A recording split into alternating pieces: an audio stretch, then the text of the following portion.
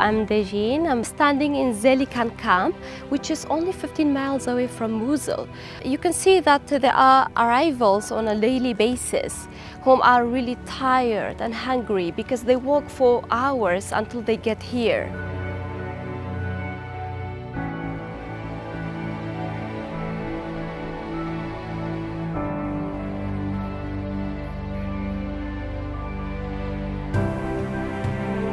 It's really very important to have a child-friendly space for children to feel safe, to feel protected, to have some fun and forget about all they have gone through and to be resilient again.